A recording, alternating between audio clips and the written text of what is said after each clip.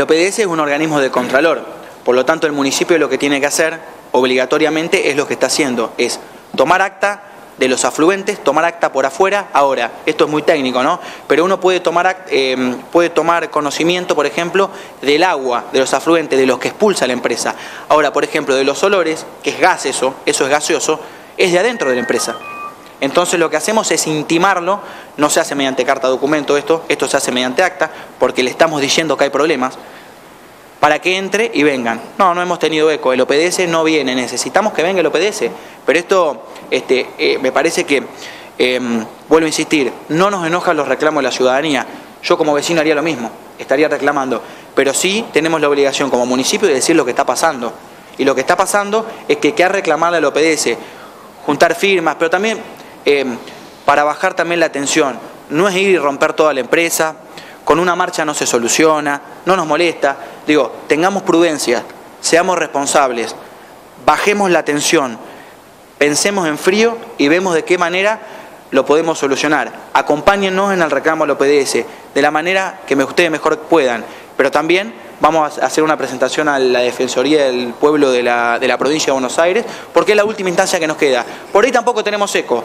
pero las vamos a agotar. Pero acá hay un trabajo de cuatro años que es exhaustivo, explicativo, técnico y que no ha tenido eco en ningún organismo. Sí, bueno, la idea es, como aclaró Camilo, es asesoría externa, lo vamos a estar eh, trabajando principalmente lo que es la planta de residuos, eh, el asesoramiento técnico y presentación ante el organismo provincial, eh, en la adecuación y bueno, el plan integral de manejo de residuos, segregación, se van a agregar, bueno, se van a agregar más campanas, la idea es incorporar otros puntos para lograr poder reducir finalmente lo que llega a la, planta, que es lo importante, ¿no? Poder reducir el total de los residuos y la, bueno, la correcta gestión dentro de la planta. Yo quiero hacer una, una, pequeña, una pequeña salvación.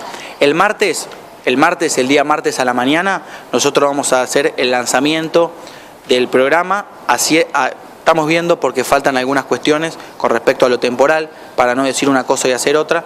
Calculamos que va a ser un programa a seis o siete meses de ordenamiento de la planta de residuos sólidos urbanos, es el acondicionamiento, que hay que contratar máquinas externas, hay licitaciones en proceso, porque hay que contratar, por ejemplo, una topadora que el municipio no tiene.